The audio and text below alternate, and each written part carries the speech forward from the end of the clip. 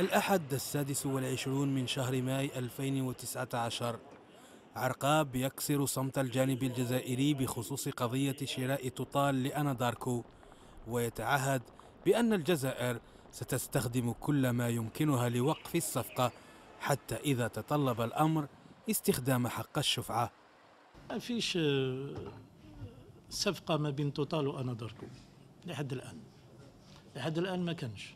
إحنا إحنا حريصين على كل هذه الأشياء وسوناتراك آه، تابع كل هذه الأمور. وحتى في آه، مراسلة إلى أناداركو لكي نستفسر كذلك آه، هذه العملية اللي راهم يقوموا بها.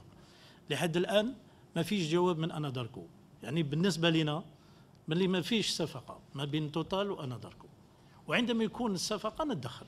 كل شيء نستعمل كل الأمور القانونية لنتدخل لكن لكن حتى الآن عندنا شريك تاعنا شريك اللي عنده عنده آه، تاريخ معنا اللي هو أناداركو المتواجد في الجزائر وقمنا معاه بمشاريع ضخمة وعادت بالفائدة الكبيرة على سوناتراك.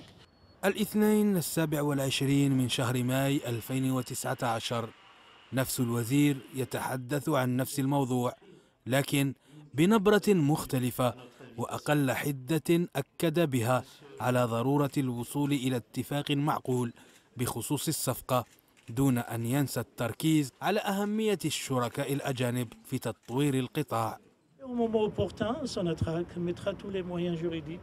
Et en fonction, de, bien sûr, des études, des analyses, nous sommes dans, des, nous sommes dans, une, euh, dans un développement que nous cherchons avec nos partenaires.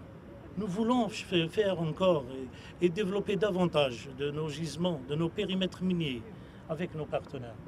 Euh, nous sommes dans un monde où tout le monde, nous devons participer avec tout le monde.